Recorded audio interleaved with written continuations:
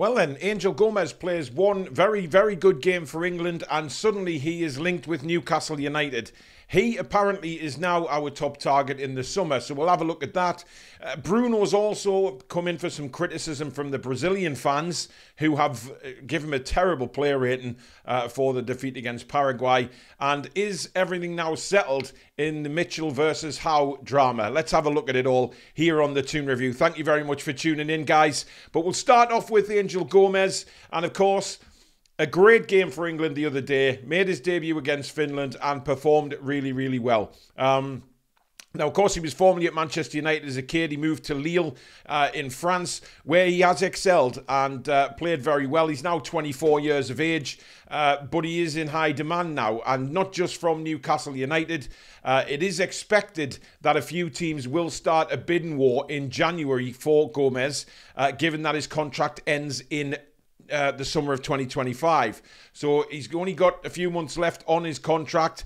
Uh, he is available to speak to other teams in January. Now, it doesn't suggest if the teams will put a bid in for him in January or they'll try and get him as a free uh, come the summer. Now, Newcastle United like the free transfers, don't they? They like going in and seeing if they can uh, get some money off. So a free transfer in the summer might be an option for Newcastle United. Uh, but the way Paul Mitchell has been talking, that will not happen. Uh, he is adamant that Newcastle United now will prioritise top quality players to come in, uh, not just in the transfer window coming up in the winter, but the summer of 2025 as well, after the absolute shit show that was 2024 summer's transfer window. It was terrible, wasn't it? So uh, we're not expecting um, anything great as fans, but listen, we're promised by the club that things will change. But we will face stiff competition for Gomes. Uh, obviously, these players who rise onto the international scene and suddenly uh, they are priority signings from many, many different teams. Manchester United are, of course, in form. Liverpool are interested in them as well, and so are Tottenham Hotspur. Uh, Borussia Dortmund from uh, the Bundesliga are also interested in him, and you can probably add several more clubs to that. Probably Chelsea as well. Why not throw Chelsea into the mix because they seem to be in for every sudden player uh, that we see it uh, that Newcastle United seem to be interested in. Uh, but look, Gomes is a very, very talented player. Now, th- there isn't any fee in the reports. Uh, about what we could pay for Angel Gomes. Um, but listen, a 24 year old, he's not a kid anymore. Uh, he's coming into his prime years as, as a player. So, but his contract is running out. Now, if you're Newcastle United uh, and Paul Mitchell, do you step in and say, right, We'll go for him as a transfer in January because we won't be paying uh, the full fee for him because they will want money for him, Lille. They will not want him to leave for nothing come the uh, the summer of 2025. Lille need the money. We know that most of the French clubs are desperate for money, and Lille have a real uh, asset on their hands here who they can get money for because he's he's not going to agree a new deal. Apparently, uh, he's already uh, told Lille that, so Lille will be looking to cash in on the player come January. They will not want to lose him as a, a freebie in in the summer. That just will not work for Lille. So expect clubs to start making bids for him. Now, whether Newcastle United are going to be one of those that's, that are involved in the bidding war only time will tell on that. Of course, we've seen it a million times over that Newcastle United uh, don't get pushed around in a transfer bidding war, uh, and they will walk away if they don't think that that transfer is um, legitimately priced, shall we say, or you know, like happened with Guéhi with uh, Crystal Palace, they'll just sort of put a bid in and then it'll get rejected, then they'll put another one in. I don't think they can afford to do this. If they truly are interested in Angel Gomes, they have to make their status known and they have to go in and play with the big boys for this transfer to happen. Now, whether it does or not, I don't know. Um, I really don't know. Um, it, it, of course, making his debut for England was a huge Huge bonus for him. Uh, of course, picked in the squad by Carsley before these two Nation League games that have just been. Um, and I think he was brilliant. I really, really liked what I saw. Um, and if Newcastle United are interested in him, go and sod and get him because he is a tremendous, tremendous player. And he can only be of a, a, an asset to Newcastle. So let's go and see what we can do. You know, Mitchell is now promising that we're going to be a force in the transfer window. Let's see. Let's go and get him because he would be a hell of a signing for Newcastle.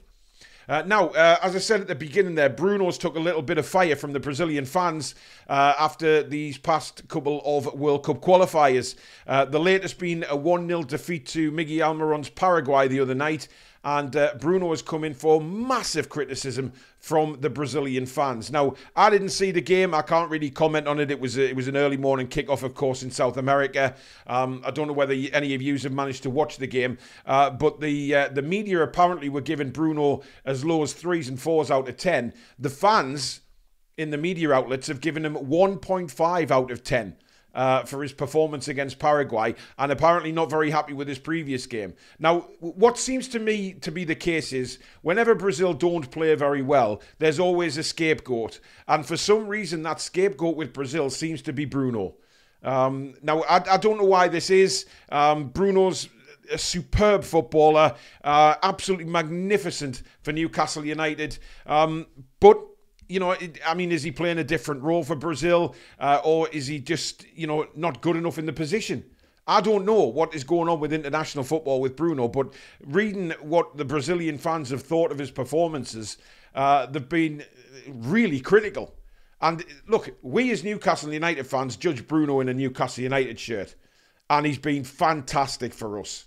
There's no doubt about it. You know, he does have the odd game. He's got the faults. He's still got faults. There's no doubt about that. When he holds onto the ball too long on the edge of his penalty area, you know, seven out of ten times he gets away with it. The rest of the time he loses the ball. He's got to be careful with that. But his skill on the ball, his vision of passing, his, his work rate, his tenacity, his, his motivation, it's all there. We love Bruno for that. And long may that continue. And I, I don't think really Eddie Howe wants to take anything out of Bruno's game at all. So I don't know what the Brazilian fans are watching because, quite frankly, you know, if Brazil lose, there's one scapegoat and it's always, always, always Bruno. You know, if you look at the last few Brazilian games when they haven't won or they've lost, he has come in for fire from the Brazil fans and the Brazilian media. Um, but I don't know why that is. Um, you know, if, if you watch your South American football or you you know you've seen the games, let me know in the comments below why you think Bruno's come in for such a tough time uh, from the Brazilian fans because it seems very very strange uh, given how good this player actually is. Um, now, of course, with the uh, transfer window came the saga between Eddie Howe, Paul Mitchell, and uh, you know a, little bit of uh, Darren Eales here and there. But it was mainly focused on Mitchell against Howe. This all-out war behind the scenes at Newcastle United. Uh, was it uh, as bad as everybody thinks, or was it just you know one of those little things that the media sort of tended to make a, a, mole, a mountain out of a molehill, which seems to be the case? Uh, Paul Mitchell has come out in the last few days and said that um, he and Eddie are going to be closely working together. Uh, they are very, very focused on the upcoming transfer window, and things will happen. Now, that's why I think you know with the Angel Gomes situation, if we are interested in him, then given what Mitchell has said and how close they're working now, him and Howe expect us to go for him. But the Marc Guéhi situation is still floating around. A lot of media reports saying we're still going to go in for Guéhi in the summer. Personally, I'd walk away from that. There's better defenders out there for me, although Guéhi did play very well for England. Uh, and all, maybe proved why he was um, valued so highly by Palace, but I still don't think he's anywhere near 70 million quid yet. He may turn out to be that player, but for me, not yet. But there is other defenders out there. Um, but one man who was publicly upset with everything that went on and possibly upset with his, his, his, role now at Newcastle United is Steve Nickson, who was responsible, very, very responsible for the, the signings of Bruno uh, and, of course, Isak, etc. Uh, now, he isn't going to be playing a major part in the transfer uh, system itself. Mitchell's already sort of structured that again. Uh, Nickson said that he wasn't happy, however, he would toe the line. But it is now widely reported that a lot of clubs are sniffing around for Nickson to take him. There's other Premier League teams and there's teams in Europe apparently very interested in Nickson. Uh, so I think it's a a real shame if we do lose Steve Nickson because behind the scenes he has done a hell of a job for Newcastle United and a job that should be recognised by us fans. You know, he's done very, very well. But of course, as a lot of fans have said as well, times change and structures change. You know, when new staff are appointed, uh, like Paul Mitchell, he will want to put his own stamp on the structure. He already had uh, his say on the previous uh, structures at the club, um, and he wants to change things, and that's fair enough for me. If he wants to change it, go ahead and do it. Uh, and if you don't want to toe the line, then maybe look for another job. But you know, Nix himself has said he'll toe the line. However, uh, it is widely reported now that he is uh, possibly going to be headhunted by several Premier League clubs clubs and clubs across Europe. So we'll we'll keep an eye on that one. But it looks like the situation with um, with Mitchell and Howe has completely died down. Whatever that was, whatever that was going on, seems to have been squashed now um, by Mitchell and the club themselves. So maybe, just maybe, uh, Newcastle will be very active in the January transfer window and transfer windows moving forward. Mitchell knows where the club needs to be and personally, as a fan, I think he's had a bollocking from the chairman. Actually, I really do when he was over here. Um, but he's he's very very strongly opinionated, as we've seen. But if he can work with Eddie Howe and get these players through the door, then it can only benefit Newcastle United. Uh, Mitchell has got a CV of bringing very very good players to clubs. Uh, yes. He tends to bring unknown players, but he can bring the big ones in as well. So let's just keep fingers crossed that everything now is water under the bridge from everything that's gone in the transfer window in the summer. And the whole club with the fans can look forward, getting the next few months out the way, performing well in the Premier League and the Cups. And then obviously, January window, strengthen the side. And let's let's see how good these guys really are at bringing players in. Uh, now, finally, St James's Park has had a little bit of an overhaul uh, during the international break, of course. Uh, the Adidas Club shop is expected to open, uh, I think they said late October at the latest, so uh, you can expect uh, developments on that in the next several weeks or so. but it is expected to be open before the end of October. But there is new signs up now. I don't know whether you've seen them on social media. The drab grey signs have been, you know, for the stands have been completely revamped, repainted. Um, Gallowgate stand is now standing true, looking across the city. So at least they're doing something behind the scenes with the ground. Um, whether they've changed anything inside or just you know done it up a little bit, uh, we'll see when we get back into St James's Park in a few weeks' time. Uh, but for now, uh, they are making a, an attempt to spruce it up a little bit, and I think it does. It did need a lick of paint. Let's be honest. You know, we were all after the takeover, we were jumping up and down the, the fact that the the windows had been washed for God's sake. That's how bad it had got at Newcastle United. Um, but now they are really trying to improve things. Now, a lot of people have put on social media and things like that. Where do we stand on a new stadium now if they're spending money doing St James's Park up? I don't think the new stadium is anywhere close, guys. If I'm being openly honest, I think they are going to focus on St James's Park for the foreseeable future, uh, and then see what the what uh, lies ahead when it comes to a new stadium. But I can, you know, St James's Park is going to be there for quite a while to come, guys. It it simply is, and we, you know whether they're going to take it to 65, I think that's the first priority.